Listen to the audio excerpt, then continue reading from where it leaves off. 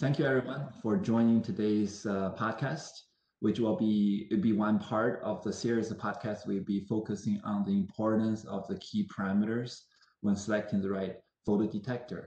For today's podcast, we have three person participating. My name is Jake, currently the business development manager at Hamamatsu, and I'm the host today. With me, we have Dino and Neil, who are both photodetector senior engineers at Hamamatsu Photonics. So guys, just to begin, we know photonic technologies today are enabling more and more markets and applications. I know there's many photodetectors out there for people to choose, and often it creates a lot of confusion, especially with system design engineers who are working and using these detectors to create their system, the different applications. So could you give uh, audience a quick overview and review the different detectors that are out there first? Well, for the sake of ease in these podcasts, we can stick to basic point detectors or single channel detectors. One of the most traditional and commonly used is the photomultiplier tube or PMT. The basic structure of the PMT is a photocathode that basically sees light and outputs electrons, the dynodes that provide the internal or intrinsic multiplication or gain, and the anode which collects the signal to be outputted. Key features for PMTs are the high internal gain and low noise. These key features combined enable very low light level applications and can even do single photon detection. Hey Dino, did you want to explain a little about the solid state detectors? Yeah, absolutely. So there's four main types of solid state photodetectors. There's photodiodes, avalanche photodiodes, silicon photomultipliers, and SPADs. Now, photodiodes and avalanche photodiodes are more established, and they've been around for many decades while silicon photomultipliers and SPADs have just recently become mainstream products in the last decade or so. Now, all four of these products can be made from different materials, but silicon and InGaAs are definitely the most popular.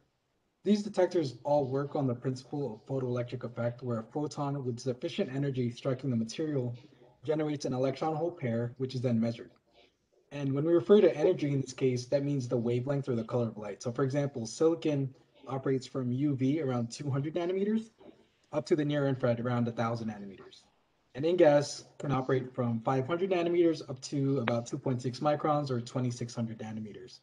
But InGaAs is more expensive than silicon, so it's mostly used when the wavelength is beyond the range of silicon. Now, the detailed physics of how these detectors work is a complex topic involving band gap engineering, doping concentrations, uh, structure, depletion region design, and so on. But generally, photodiodes and its faster sibling, the pin photodiode, are gainless. So one electron hole pair is generated for each photon detected. While APDs or avalanche photodiodes operate in the linear region where you apply a reverse voltage to adjust roughly how much gain or how many electron hole pairs you generate for each photon you detect. Now, when you operate APDs above the breakdown voltage, it can go into what's known as the Geiger region, where a single photon basically saturates the detector generating upwards of 1 million electrons or more for each photon detected. Now, this on its own was very problematic for the earliest APD users because it latches the output to the saturation current, like a switch. But by adding a reset circuit, the Geiger effect can be exploited to detect single photons with very high gain, and then we can use the reset circuit to reset the detector to detect the next photon. So this is essentially how SPADs work, and then silicon photomultipliers or SiPMs were developed to have many SPADs in parallel to detect multiple photons simultaneously. That was a very good physical overview. And thank you very much for that, that for the different solid state detectors. But I, I do know that right now in the market, uh, PIN, the PIN diodes and the avalanche photodiodes are very traditional solid state detectors with many usage history already. And uh, they are being used in applications like short range or medium range LiDAR uh, market, the optical communication market for fluorescitometry, and basically any application and market that has sufficient amount of photons are presented in the detection. Now, um, we the more um, you know we we talk about this, the more I hear that you know uh, people are now really uh, hyped up about uh, silicon photomultiplier, the SiPMs, or the SPAD. So, what really makes them so special, in your opinions? Well, SIPM, as Dino already described, is basically an array of Geiger mode APDs that operate above the breakdown region. and they're all connected in parallel, which give a fairly linear response until reaching saturation, meaning the upper end of its dynamic range. Even though I did say this is an array of Geiger mode APDs or SPADs, each microcell or element is connected in parallel, so this still operates as a single point detector. In terms of applications, some of the ones we see SIPMs being used are PET, of course, LiDAR, and even moving into other aspects of medical like hygiene monitoring and flow cytometry. Yeah, and, where SPAD really excels is if you have a low noise application or low noise requirements. So SPADs are much smaller than SIPMs, uh, so their dark counts are also much lower. So we're talking 5 to 50 dark counts per second for SPADs versus tens to hundreds of thousands of dark counts for SIPMs. Uh, the disadvantage is the, the smaller active area for SPADs. So active area could be as small as 50 microns in diameter for SPADs, whereas SIPMs can be as large as 6 by 6, 10 by 10 millimeter, and so on. Um, so some applications where you'll find SPADs would be single molecule counting, um, particle size analysis techniques like dynamic light scattering, and diffuse optics like near infrared spectroscopy, which is often used in functional brain study. Well, that's that's definitely a good amount of detectors for people to select. I mean, uh, so far I see that we talked about PIN, PMTs, uh, uh, APDs, SIPMs. There's so many out there, so it gotta be confusing sometimes for the people to know or the audience to know what is the best fit for the different application. So what is the best way? I mean, you know, so many detectors. What is the best way to choose the right parameter or choose the right detectors to use under the different circumstances? Yeah, absolutely. It's not easy. And to properly select the right detector, you you really need to consider six key parameters. Uh, there's gain, sensitivity, active area, noise, bandwidth, and linearity and dynamic range.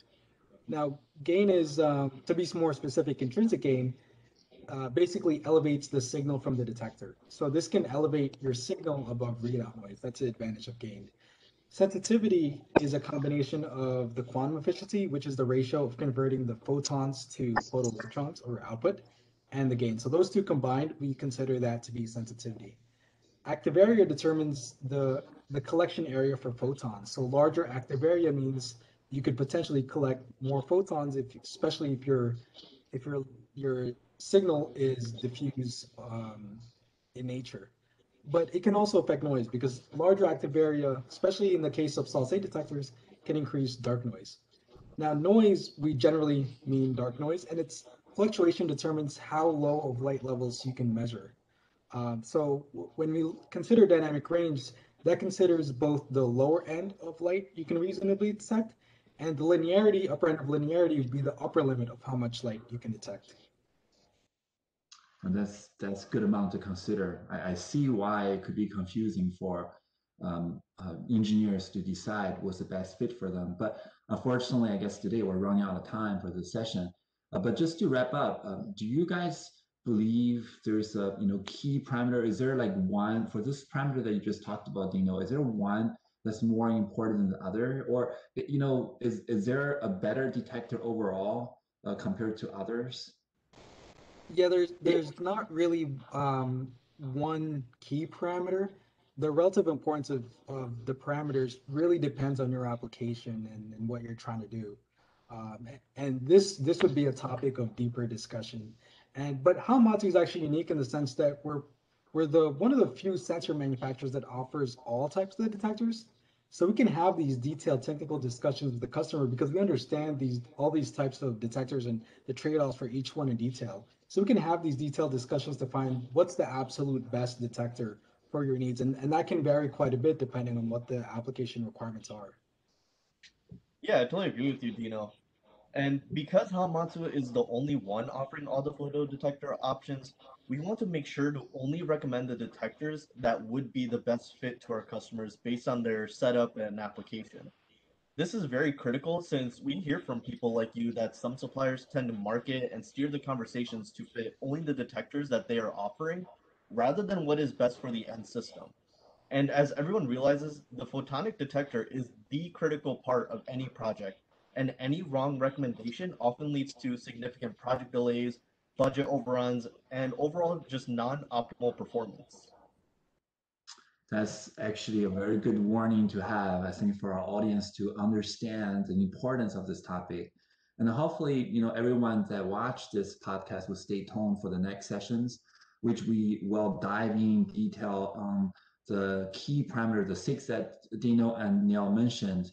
Um, in the meantime, uh, please feel free to reach out to us. Uh, we will have the contact info on the screen for you um, as you see. And you have any questions about this session or in the future on the other sections, or if you want reach out to ask us about, you know, what is the best way to pick up the right detector from our lineup, uh, please contact us. And Dino, Neil, thank you so much for joining and giving everyone your expert insights. Yeah, no problem. Yeah, absolutely. Always a always a pleasure. Thank you.